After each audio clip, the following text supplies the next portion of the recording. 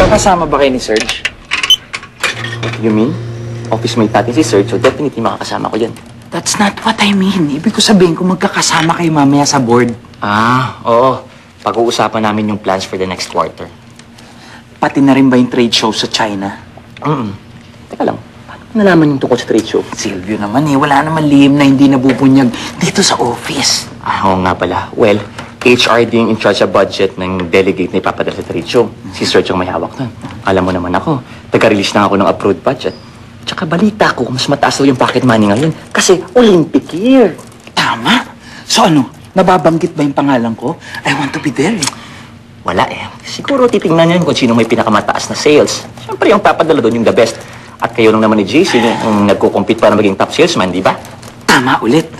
So ano nga, anong ang tunog-tunog? Mm, okay, well, si- sa tingin mo, sino sa inyo ni JC ang may mas pinakamataas na sales? Ako! Well, nothing to worry about.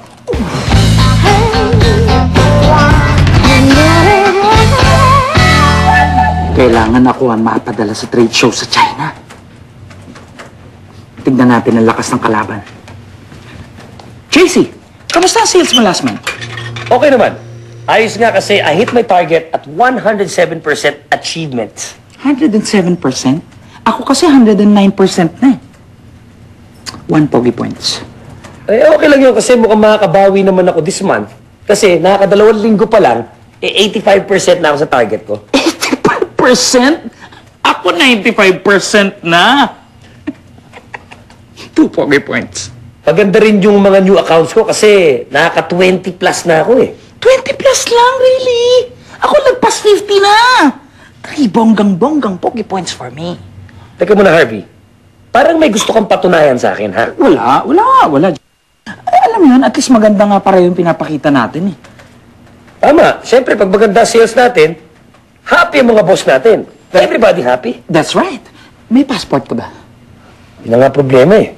Worried ako kasi I misplaced it. Siyempre, pag magkaroon ng biglaang biyahe, eh, paano ako? Good! Ha? Good! Pagod na pagod ako. Ang dami ko kasing trabaho, JC. Ako rin? Ah, meron ka pa bang vacation leave? Madami pa. Ah, madami pa. Oo. Gusto mo magbakasyon this weekend? Eh, kasi ang dami kong workload eh. Akong bahala. Sagot kita, my friend. Sigurado ka? Okay, papasa ko na ha. Papa-approve ko na ha. Pa-approve mo na. Go, go, go. Alam mo, galing mo talaga. Kaibigan ka talaga. Galing mo. you, my friend. Mukhang nag-iba ang ihip ng hangin, ah. Ay, hindi naman.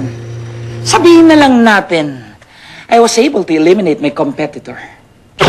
Uy, balitang-balitang vacation leave ni JC this weekend, ah. At ikaw ang daw sasalo sa workload niya. Balitang-balita rin na isang katutakang papeles na kailangan gawin ni JC. Balitano bang tungkol sa trade show sa China? Balitang-balita na ikaw dapat ipapadala sa trade show sa China. Kaso medyo bumaba yung dollar rate, kaya hindi na tayo sasali. Next year na lang. Buti na lang hindi umasa si JC, no?